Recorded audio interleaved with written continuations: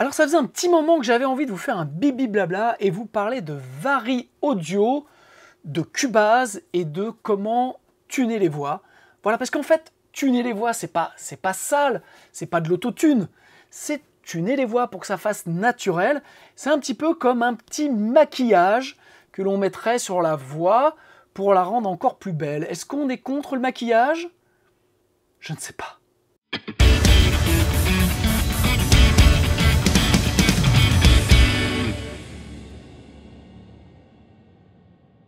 Salut à toutes et tous, c'est Jaff. Aujourd'hui dans Bibi Blabla, on va parler de Vari Audio. Alors, j'ai longtemps hésité à vous en parler sur un Bibi Blabla euh, dédié à euh, Vari Audio ou de l'inclure dans les nombreux Bibi Blabla sur l'enregistrement de mon album. Mais j'ai préféré faire quelque chose à part parce que euh, je voulais vraiment avoir un focus spécifique sur Vari Audio. Alors, avant de commencer, vous êtes plus de 80% à regarder mes vidéos et à ne pas être abonné à ma chaîne YouTube. Bref, vous le savez, on a tous besoin de vos abonnements. Alors, si vous avez déjà vu de mes vidéos ou si vous êtes pour la première fois ici à me découvrir et que vous aimez cette vidéo, donc sur Vari Audio, eh bien, premièrement, je vous recommande d'aller en voir d'autres parce qu'il y en a plus de 360 sur ma chaîne YouTube. Et si vous vraiment vous aimez, eh bien, Merci de euh, vous abonner et je serai très heureux de vous compter parmi nous. Voilà donc, sans plus de fleurs de rhétorique, nous allons commencer ce bibi blabla sur Vari Audio. Alors qu'est-ce que Vari Audio? Alors Vari Audio est un peu le Melodyne euh, de euh, Cubase. Voilà, donc Melodyne est sorti il y a maintenant plus d'une dizaine d'années et révolutionnait vraiment le traitement harmonique de pistes audio euh, bah, grâce donc à ce logiciel qui vous permettait eh de changer de note, de prendre chaque note et de pouvoir les changer comme on voulait. Depuis la version, je crois, 9 ou 10 de Cubase, il y a donc Vari Audio qui est un algorithme qui vous permet de faire grosso modo ce que fait euh, Melodyne. Alors, je ne vais pas rentrer dans le débat Melodyne est mieux, Vari Audio est mieux, je ne connais pas Melodyne, donc comme ça, ça résout tous les débats. Si vous avez une idée, vous, parce que vous avez testé Vari Audio et que vous connaissez Melodyne, eh bien, merci de vous exprimer dans les commentaires et de me donner votre avis. Voilà. Euh, donc, Vari Audio, moi, j'utilise donc depuis le début. Voilà, pour tuner les voix. Alors, on est aujourd'hui sur la version 13 de Cubase. Vari Audio a vraiment, vraiment progressé. Parce que au début de tuner les voix, eh bien en fait, on avait beaucoup d'artefacts, on avait beaucoup de, de schmurz, de blurs, de bloop. Voilà, c'était pas donc dans un mix, ça euh, passait encore, mais euh, quand on écoutait en solo, ça euh, faisait un peu mal au shy. Donc, Vari Audio a vraiment progressé et en fait, eh bien, je le vois par rapport à certains de mes apprenants, je vois comment certains tunent les voix et en fait, je voulais vous montrer, en tout cas, la manière dont moi je tune les voix en ce moment, puisque j'ai pas mal de projets pour des clients et j'ai aussi mon album. Donc on va cobaye hein, avec moi, on va regarder un petit peu sur un petit bout de chant. Voilà comment je peux tuner les voix parce qu'il y a deux trois petites astuces que peut-être que vous ne connaissez pas et qui sont euh, intéressants pour pouvoir eh bien optimiser Vari Audio. Alors, donc, je vous fais écouter la voix brute telle que je l'ai prise. Donc, vous allez euh, entendre la voix. Il n'y a euh, pas d'effet. J'ai juste fait un test euh, sur la voix avec le fast track de Harrison. Mais peut-être que je ferai un bibi blabla un jour dessus. Mais pour l'instant, on va se consacrer à ça. Donc, il n'y a rien en sortie. Il n'y a pas de, de bus. J'ai juste un insert de reverb dessus histoire que euh, quand je chante, d'avoir un petit peu de reverb, histoire que ce soit un petit peu plus agréable. Donc on écoute ce passage. Les gros poissons du commerce font des grands espaces, un cheval de bataille. Si t'as un but, t'as qu'à voir comme ils défoncent si bien les barrières de corail. Ok, donc je vais vous montrer comment je fais. Si vous avez d'autres techniques, eh bien pareil, merci dans les commentaires de nous expliquer parce que ça peut être très intéressant de, euh, eh bien, d'avoir un autre point de vue. En tout cas, voilà, moi je vais vous montrer comment je fais et pourquoi je le fais. Donc déjà, ce que je fais, c'est assez simple, c'est-à-dire que je vais euh, conserver ma piste originale. Parce que si jamais il se passe un truc durant l'utilisation de Vari Audio, des artefacts ou quoi, ou un problème où j'ai mal tuné la voix, et que quand je mixe, je me rends compte qu'il y a un vrai, vrai souci. En fait, ça, fout plus le bordel que ça améliore la voix. Donc, c'est pas du maquillage. Là, c'est un espèce de pâté de rimel qu'il y a au milieu du visage. Donc, ça me permet de pouvoir faire machine arrière. Donc, ce que je fais, c'est que je fais dupliquer la piste. OK. Et là, cette piste, je vais la renommer. Hop. Euh, je vais la renommer. Euh, je mets un T pour. bon, je vais mettre TUD. Voilà. Donc, hop, là, on va retirer tout ça. Voilà. Donc, vous voyez, ma piste, j'ai la piste originale et j'ai la piste La piste originale, je vais la muter dans un premier temps. Et puis la piste tunée, ce que je vais faire, je vais la réenregistrer. Je fais convertir la sélection en fichier, c'est-à-dire que je vais recréer une piste, c'est-à-dire que Cubase va réécrire une piste. C'est important. Pourquoi? Parce que comme ça, parce que si je tune mon fichier original, et eh ben en fait je perds mon fichier original. Vous voyez donc euh, pour faire ça, c'est pour ça que je duplique ma piste et que je change le nom comme ça. Et donc je fais, pardon, je fais euh, contrôle, euh, je fais clic droit, voilà, convertir la sélection en fichier, remplacer, toc. Et là vous voyez, j'ai bien un nouveau fichier qui a été créé. Et là maintenant je peux faire ce que je veux. Donc je double-clique, ok, j'ai mon vari audio, je fais analyser la sélection et vous voyez, j'ai plein de euh, petites barres de couleurs comme ça. Alors moi je le fais, ce qui est plus long, je le fais en manuel et je vais vous montrer ce qui est intéressant euh, là-dedans. Donc là je mets en solo et donc je suis parti. Donc en fait, je vais regarder par exemple si je clique là sur ce, euh, ce segment-là, vous voyez que je suis à plus 19%. Voilà, donc par rapport à l'origine, je suis légèrement plus haut. Donc moi, ce que je fais, c'est que, voilà, je, remets tout sur la note. Ok, donc je reprends mon... Et donc là, ce que je vais faire, c'est que je vais, vous voyez, remettre tout sur la bonne grille. Hop, donc. Alors, vous m'excuserez, du pas, d'ailleurs, j'ai changé de souris et donc je ne suis pas encore très à l'aise avec. Donc vous voyez, si vous me voyez hésiter, c'est normal. Je suis en apprentissage de cette nouvelle souris. Donc vous voyez, donc, hop, je remets tout. Et en fait, l'idée, c'est d'avoir quelque chose de naturel. C'est ce que je vous disais avec le maquillage. Un beau maquillage, c'est quand euh, c'est euh, euh, naturel. C'est pas quand euh, on a, comme on dit, euh, on est maquillé comme une voiture volée. Et bien là, en fait, c'est un peu le même principe. Contrairement à l'autotune, c'est pas euh, d'être une voiture volée, c'est de d'être bien et de passer. Donc voilà, là j'ai tuné cette partie-là, on va écouter. Les gros poissons du commerce font des grands es... Voilà, donc ça, ça me plaît. Et donc maintenant, je vais me mettre sur la suite. Et voilà, donc c'est particulièrement chiant, ah. je vous l'accorde. J'espère que vous ne vous êtes pas endormi ou que vous ne êtes pas déjà barré de cette vidéo. Mais si vous êtes barré, je le comprendrai, bien entendu. Mais si vous êtes parti, c'est dommage pour vous parce qu'il y a quand même encore deux, trois petits trucs que j'ai à vous montrer pour faire un beau tuning. Alors. En espace, un cheval de bataille. Voilà, de bataille. Alors, je vais le remettre bien. Bataille. Alors là, il y a quand même un truc, vous voyez, c'est que c'est pas terrible. Alors ce que je vais faire, c'est que je vais cliquer et automatiquement, vous voyez, il y a le euh, petit ciseau qui apparaît. Donc je vais cliquer là et regardez bien ce qui se passe sur la barre. Hop, vous voyez, elle se... Elle se... je l'ai découpée, mais les deux, deux parties ne sont plus au même niveau. Et c'est là où, en fait, quand vous avez une barre et que vous la mettez à un niveau et que vous entendez que vous êtes encore faux, ce que je vous recommande, c'est d'aller couper à l'endroit où vous sentez que c'est faux pour pouvoir, en fait, voilà, là, je l'ai remis, j'avais entendu qu'elle était un petit peu en bas et que celle-là, elle était un petit peu trop haute. Et donc maintenant, ça donne... Bataille Et là, maintenant, le bataille Et bien, je vais vous faire... Voilà, c'était comme ça avant. C'est quand même moins bien que... Voilà, donc ça, c'est un point, notamment quand vous avez des notes tenues, de pouvoir... Je vais prendre par exemple ce mot-là.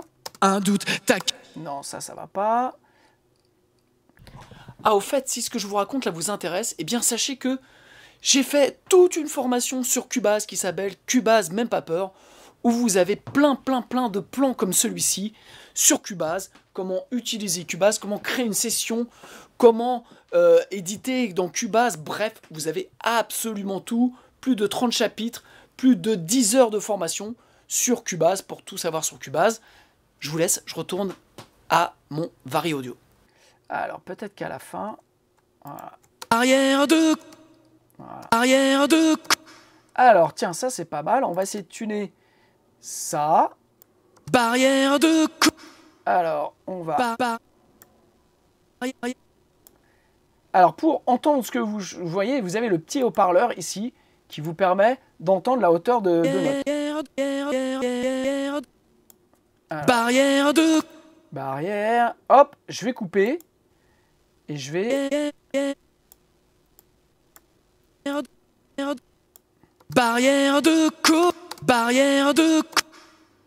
Alors, c'est pas mal, mais. Barrière de co. Barrière de Cora. Barrière de. alors, ça, Barrière de.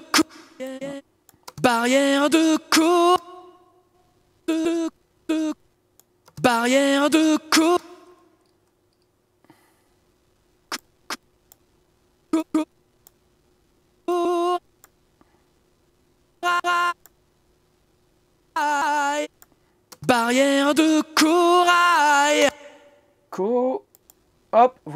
là, je vais.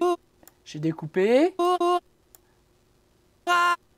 Barrière de corail. Le corail est vachement plus euh, tenu. Et là, ça, ça me plaît toujours pas.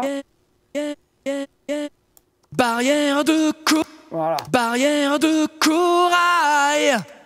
Aïe Non, tout ça, c'était pas mal. Barrière de corail. Voilà, donc, là, forcément, j'ai sauté. L'idée, c'est de remettre tous les petits points comme ça au même niveau parce que, vous voyez, quand je clique ici, là, je suis à 26%. Aïe, aïe, aïe, Hop, aïe, aïe, aïe. la hauteur actuelle, l'auteur d'origine, voilà, là, j'ai l'auteur d'origine. Et donc là, je suis bien à 0. Là, si je clique là, euh, alors peut-être que celle-là. Vous voyez, là, si je clique là sur ce, cet élément, je suis à 32%. Eh bien, hop, je vais le mettre à 0. Et là, un doute, celui-ci. un, un, un doute, un doute. Et donc, Si t'as un doute, t'as. voilà. Donc, c'est, si vous voulez vraiment faire un maquillage parfait pour votre voix, eh bien, ça prend ce temps-là. Voilà, moi, je le fais pour moi, je le fais pour mes clients. Euh, c'est quelque chose de long, mais ça vous permet à chaque fois de vérifier. Donc, bien entendu, une fois que vous l'avez fait comme ça, je vous recommande de le mettre en contexte. Si un qu'à voir comme. Voilà, là, voir. Si je clique sur voir, vous voyez, hop, le voir, il n'est pas là. Si t'as un doute, t'as qu'à voir comme Et là, le voir, il est juste. Si t'as un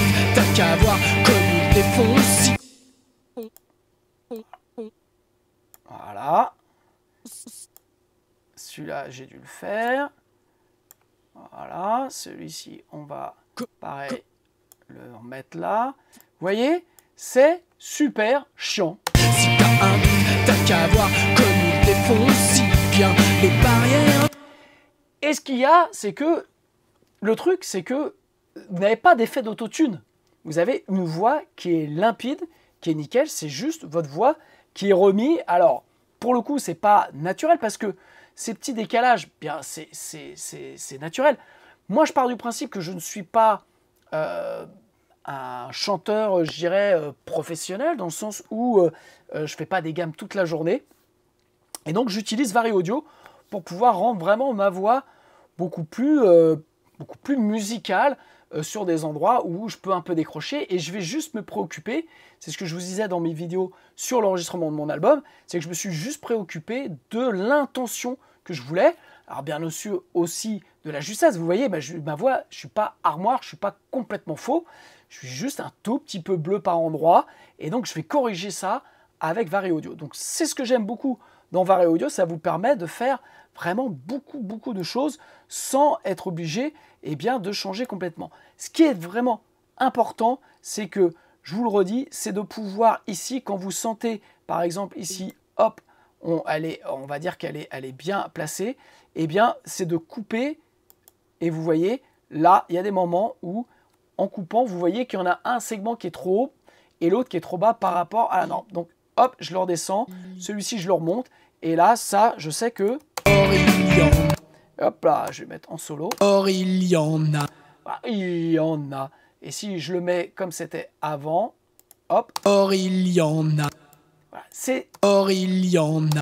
C'est très léger. Voilà, comme je vous l'ai dit, je chante quand même pas armoire à un point où il faut, mais c'est vous pouvez faire comme ça euh, plein de choses. C'est j'utilise jamais la, partie automatique des gammes qui va faire que ça va vous les mettre dans les bonnes gammes. J'essaie de, de, jouer sur les harmonies choisies par euh, les musiciens, quand c'est pas moi non plus qui chante. Mais voilà, ça c'est super important de voir ça pour pouvoir en fait euh, euh, tuner. Ce que je voulais vous montrer, c'est ce côté où pensez quand vous avez par exemple comme ça des notes qui sont groupées à parfois les, dé, à les découper en deux, à les scinder en deux et à remettre les deux parties au bon niveau, vous voyez, comme ça. Ça peut éviter des bleuseries qui peuvent parfois accrocher, notamment quand vous doublez des voix. On va le voir, là je vais vous faire écouter après, parce que j'ai un doublage voix, et euh, donc les deux vont être tunés. Je vous ai expliqué, vous voyez ça par exemple, hop, ça, ça peut... Voilà, ça, on va le mettre là, on va écouter. Les cargos, les, cargos, les cargos.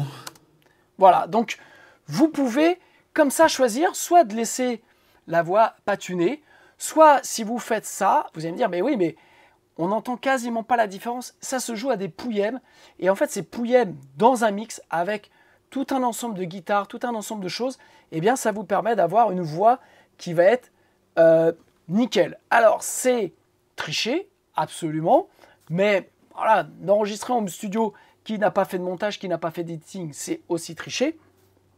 Le live est là aussi pour rétablir eh bien, euh, la part de justesse à ce que ce sont capables de faire les artistes. Voyez Donc, Vari Audio s'utilise comme ça. Après, ce que je vous recommande de faire, c'est qu'une fois que vous avez comme ça votre algorithme qui a défini les hauteurs de notes, je vous recommande de la convertir pour pouvoir en fait quelque part libérer peut-être de la ressource supplémentaire sur des voix qui vont être euh, comme ça et euh, où l'algo va euh, à chaque fois recaler les notes. Donc moi ce que je fais c'est simple, je fais voilà, je fais geler le traitement en temps réel. Voilà, donc on l'a gelé le traitement en temps réel. Alors moi j'ai mon raccourci clavier, vous l'avez ici dans audio traitement réel avancé, geler le traitement en temps réel. OK, vous le mettez en real time, et donc là, bram, votre piste, elle est ici, pardon, elle est où Elle est où Elle est où? Les cargos. Voilà, elle est là. Et donc, vous voyez, là, j'ai ma piste, qui est une nouvelle piste, différente de celle-là. Donc, si j'ai fait une erreur, j'ai encore ma piste d'origine, et là, j'ai une piste avec euh, eh bien, une piste audio qui est tunée, qui est corrigée. Si je vous fais écouter maintenant le, euh, ce que j'ai fait avec le doublage voix, ça donne ça. Les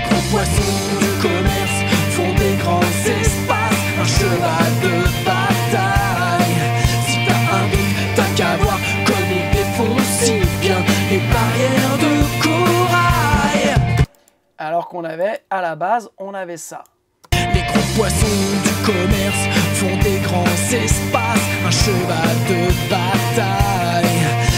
Et en fait, quand on entend la voix tunée et qu'on réécoute la voix non tunée, on se rend compte que ces petits détails-là, eh bien en fait, ça aide pas la voix à se placer bien dans un mix, à être nickel. Donc voilà ce que je voulais vous montrer. Donc le principe, je le redis, c'est de dupliquer votre piste, la euh, convertir en fichier pour pouvoir recréer un fichier. Alors forcément, ça prend plus de place sur le disque, mais au moins, si à un moment donné j'ai fait une erreur là, j'ai toujours mon fichier original. Ça, c'est super important. Ne tunez pas vos voix directement sur votre fichier. Vous allez faire une erreur et vous pouvez vous retrouver après avec une piste où il y a des, des, problèmes d'artefacts et euh, que vous pourrez, vous êtes obligé, vous êtes obligé de la rechanter ou faire revenir l'artiste en studio pour refaire. Et donc ça, ça la fout toujours très mal. Donc vous dupliquez, vous travaillez sur la piste dupliquée et après vous euh, allez dans audio et vous faites traitement en temps réel et vous gelez le traitement en temps réel pour convertir, pour avoir une, piste avec le traitement Vari Audio qui est inscrit dessus et comme ça on n'y touche plus. Voilà ce que je voulais vous montrer dans ce bibi blabla. Vous parlez de Vari Audio. J'ai vu plein de choses sur Vari Audio. Euh, je trouve que maintenant avec l'expérience, en tout cas cette méthode fonctionne. Elle me permet de pouvoir tuner les voix comme je vous ai dit avec ce petit maquillage qui va euh, rendre les voix juste comme il faut. C'est pas euh, du surmaquillage comme l'autotune. Ça fait quelque chose de super juste. Vous maîtrisez tout le process. Alors comme vous avez vu, c'est long. Vous passez facilement 2, 3, 4 heures à tuner les voix d'un titre, surtout si vous avez des chœurs. Moi j'ai fait des titres avec plein de chœurs. Ben, je peux vous dire que j'en ai bien chié, j'ai passé du temps. Mais au moins, après quand je mixe, bam, j'ai plus de problème. Le truc est nickel et ça permet vraiment de faire des voix pro. C'est aussi comme ça qu'on fait la différence en studio et home studio. C'est la qualité de l'enregistrement, mais c'est la qualité qui vient juste après de production, de traitement des effets. Et si vous mettez un autre tune ou si vous utilisez Vari Audio un peu comme un goret, eh bien en fait ça va s'entendre, ça va pas être nickel. Il n'y a pas de secret, il faut y passer du temps et faire comme je vous ai montré, eh bien de faire note par note, de remettre note par note chaque, chaque note dans la bonne tonalité ou au bon degré, voyez, pour pas que ce soit bleu ou trop en dessous ou trop au-dessus, voilà, pour la rendre nickel. Et n'hésitez pas à couper les notes pour les recaler, comme je vous ai montré, euh, pour vous permettre eh bien, d'avoir des tenues ou euh, des mots qui sont un peu longs, qui soient vraiment, vraiment juste du début à la fin, surtout quand il y a un changement de note dedans. Voilà ce que je voulais montrer. Eh bien, si ce bibi blabla vous a plu, merci de vous abonner à ma chaîne YouTube. Merci de passer vos commentaires. Si vous, vous faites autrement, voilà, je le redis, c'est pas... Euh, il y a peut-être d'autres manières de faire. En tout cas, moi, c'est celle qui m'a... que j'utilise parce que euh, j'ai déjà tuné les voix directement et après je me suis retrouvé avec euh, des voix qui étaient mal tunées. J'avais plus mon fichier original, donc je retunais sur un truc qui était mal tuné et donc je recrée des artefacts sur un truc. Ben voilà, donc c'était un bordel sans nom. Alors que si vous faites comme ça, je vous assure que vous allez avoir des voix qui vont être nickel, super pro et où surtout vous n'allez pas entendre l'effet d'autotune. Vous allez avoir quelque chose de très naturel et c'est ce que l'on cherche tous. Voilà, je vous embrasse. Merci et à bientôt